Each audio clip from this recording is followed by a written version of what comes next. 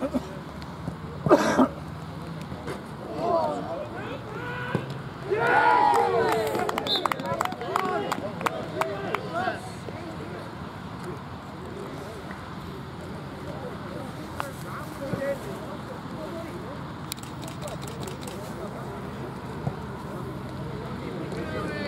Who scored?